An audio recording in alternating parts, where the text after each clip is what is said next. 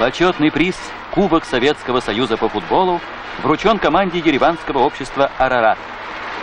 Позади труднейший финальный матч, который прошел в острой напряженной борьбе. Вот как это было. Соперники ереванцев, футболисты Ворошиловградской «Зари», начали игру в высоком темпе и весьма решительно. Они атаковали настойчиво, упорно и первыми добились успеха. 1-0. Впереди «Заря».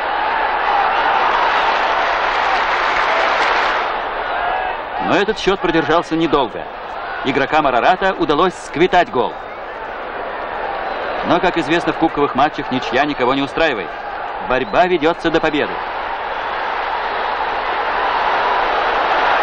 Футболисты Арарата действовали энергично, они захватили инициативу, непрерывно атаковали и забили второй мяч в ворота соперника.